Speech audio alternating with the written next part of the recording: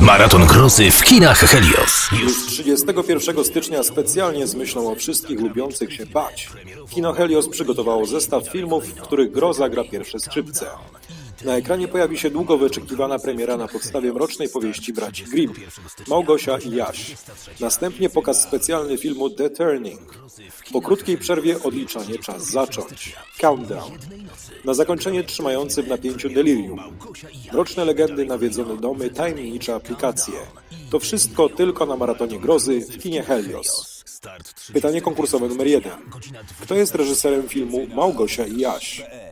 5, 4, 3, 2, 1. Sara jest astronautką. Jako jedyna kobieta bierze udział w wyczerpującym szkoleniu Europejskiej Agencji Kosmicznej.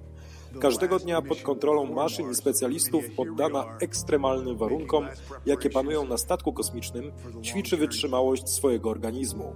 Jej codzienność to nie tylko mordercze treningi, ale również ciągłe udowadnianie męskiej części załogi, że zasługuje na miejsce w zespole.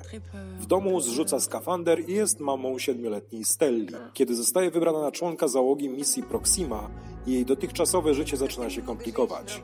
Jako astronautka jest gotowa, by spełnić swoje marzenia i polecieć w kosmos. Jako mama boi się rozłąki z córką. Każda decyzja jest dobra i zła jednocześnie. Wyprawa w kosmos czasami okazuje się mniejszym wyzwaniem niż zwykłe życie na Ziemi. Pytanie konkursowe numer dwa.